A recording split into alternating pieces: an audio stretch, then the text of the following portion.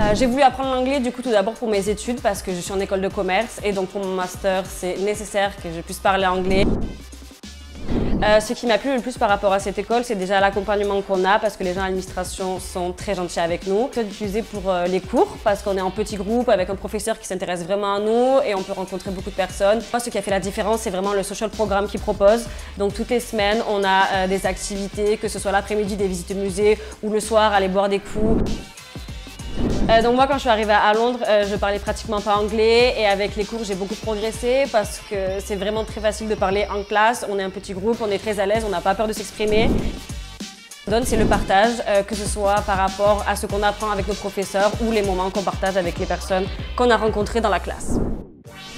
bien sûr, si vous voulez apprendre l'anglais et vous faire plein d'amis à Londres, venez chez Speak Up London.